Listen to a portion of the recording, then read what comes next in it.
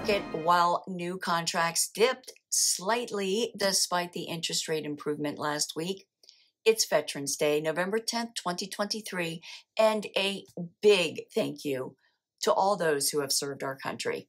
This is the Maryland Eastern Shore Report.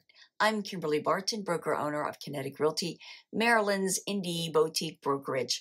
As your local real estate expert, I bring market updates every Friday so you stay in the know. Be sure to subscribe and let me know what you want to know. We're going into the year end where buyers who want to purchase before the new year are serious and sellers who want to make a move are likely to do it. There are 1,446 homes for sale, a rise from last week.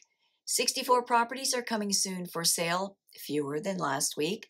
231 came to the market since last week, up week over week.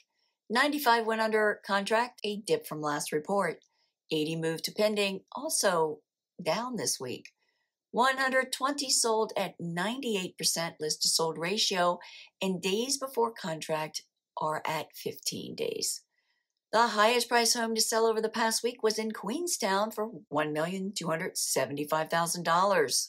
Available rentals for lease on the shore rose this week to 125 and are at a median $1,995 per month.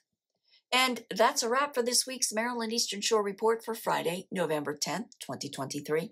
Thanks so much for tuning in. Enjoy your weekend. Stay safe, and I'll see you next week.